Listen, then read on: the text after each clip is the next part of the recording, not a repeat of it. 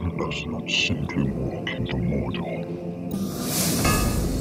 The Land of Shadow.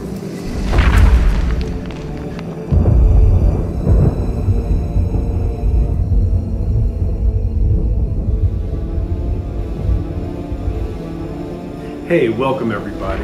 In today's Shadowcast, we stand before the Morannon and demand entrance into the Black Gate of Mordor. In this lore video, we will explore one of the most interesting of Sauron's dark domains here in Middle-earth. I will be covering the history, the fortification, and the mechanics behind the Black Gate of Mordor.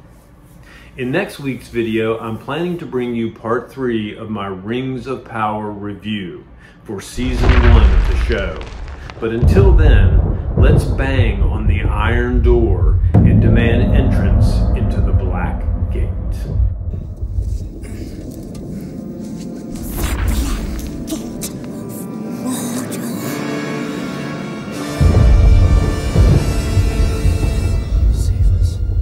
The Black Gate of Mordor was a vast and menacing battlement which guarded the entrance into the Black Land.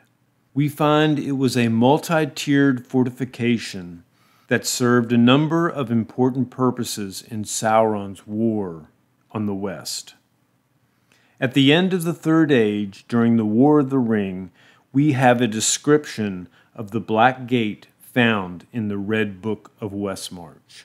Upon the west of Mordor marched the gloomy ranges of the Ephel Dúath, the mountains of shadow, and upon the north the broken peaks and barren ridges of the Ered Lithui, gray as ash.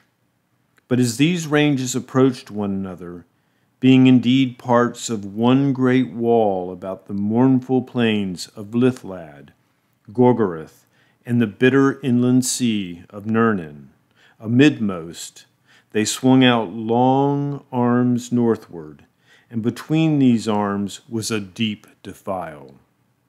This was Cirith Gorgor, the haunted pass, the entrance to the land of the enemy. None could pass the teeth of Mordor without feeling their bite, unless they were summoned by Sauron or knew the secret passwords that would open the Morannon, the black gate of his land. In the years leading up to the War of the Ring, the Black Gate was thus described. It is said to have been built across the path of Cirith Gorgor, the gap between the Ephel Dúath and the Ered Lithui, in the northwestern corner of Mordor. The gap was sealed with a single iron gate consisting of two vast doors under a frowning arch. Between the ramparts of stone, with a battlement that stretched between the high cliffs on either side of the mouth of the pass. On two sheer, black boned hills, there were thrust forward from the mouth of the pass two tall towers, known as the Tower of the Teeth. Carchost, meaning fort with fangs, on the left, and Narchost, meaning bitter, biting fort, on the right. On either side of the gate lay hills of black slag, bored with countless holes in which the foul folk of Mordor lurked.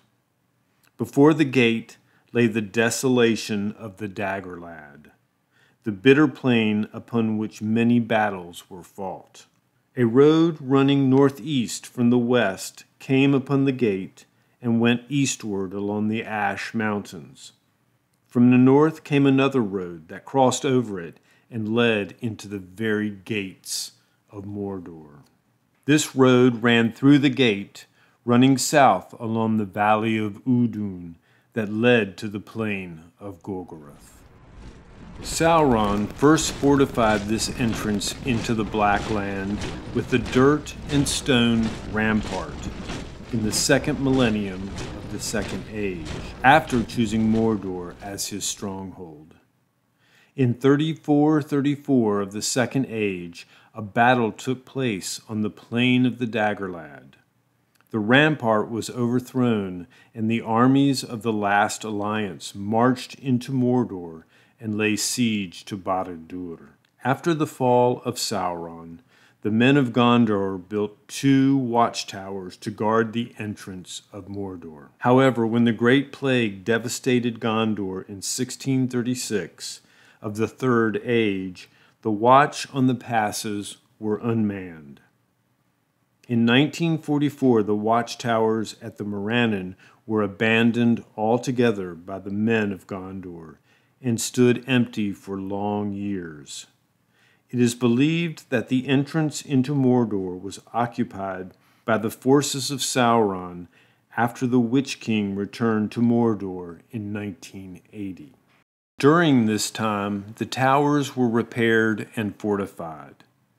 Great ramparts and walls were built out from the towers on either side, and the vast iron gate was constructed between them. Sauron had taken the lesson from his last great defeat and was determined that no army should ever again breach the land of Mordor. The Black Gate was only the first part of his defense of the haunted pass of Cirith Gorgor. Behind the Black Gate lay the fortified defenses of the Vale of Udun. On either side of the Vale lay countless orkholds, smithies, armories, and deep tunnels. Within the center of the Vale, vast armies could be staged for battle. At the opposite end was the narrow pass called the Isenmouthe, which was barred by a fence pointed iron posts, an earthen wall, and a trench spanned by a narrow bridge.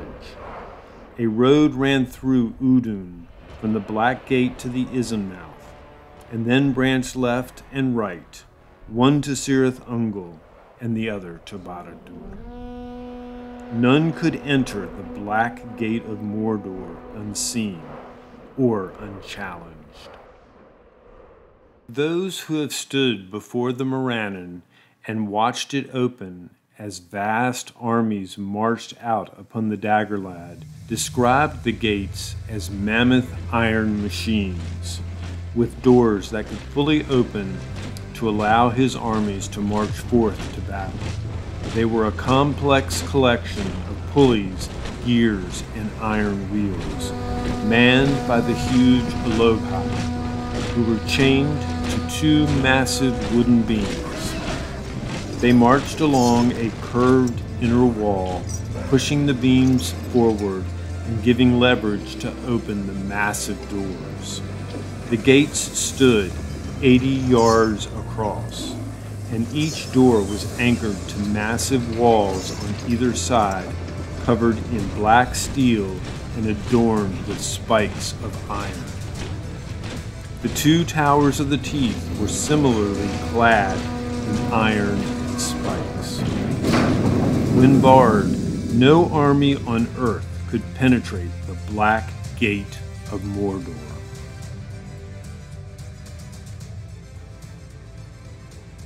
Well, I hope you guys enjoyed uh, this latest lore video about the Black Gate. Uh, in our next Shadowcast, I'll be bringing you part three of my review of the Rings of Power Season 1, the final conclusion of my review. Uh, so, until next time, I hope to see you marching across the dark plain of Lithlad along the eastern desolation